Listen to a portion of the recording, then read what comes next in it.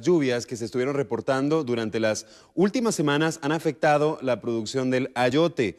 Esto lo indicaron algunos comerciantes, lo cual ha elevado su precio. Estas salsas también se registran en otros ingredientes del tradicional ayote en miel. Es costumbre que después de comer el fiambre, el 1 de noviembre, se deguste de un rico postre. En este caso, un ayote en dulce o miel. Sin embargo, para las amas de casa se pone cuesta arriba la compra de los ingredientes. Se lo estuvimos diciendo también en el segmento de economía, cómo se ha disparado también este efecto fiambre. Semanas previas a la celebración chapina, pues los precios también se disparan, afectando directamente el bolsillo de los guatemaltecos, específicamente de las amas de casa.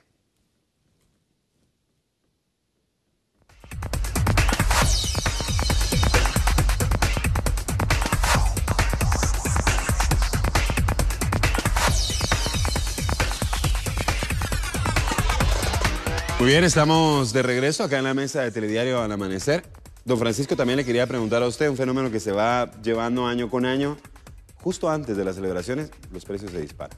Bueno, siempre hay un pretexto de o hay mucha lluvia o muy poca lluvia, pero la realidad es que va a subir de precio. Porque Todo el, año se ha, ha sido que irregular. Aquí se pone de manifiesto la demanda y la oferta.